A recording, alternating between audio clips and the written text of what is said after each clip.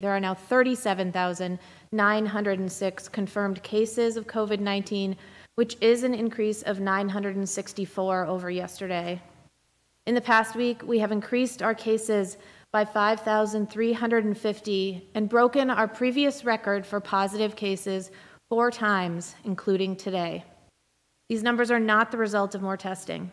In fact, on Saturday, we saw, we saw more positive cases than we saw on Thursday, even though we tested half as many people.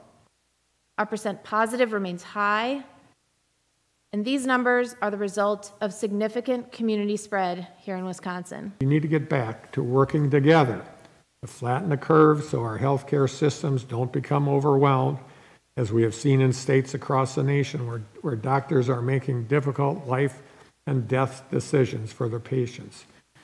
And we need everyone to continue doing their part by staying safer at home whenever possible, practicing social distancing, and wearing a face mask whenever they go out in public.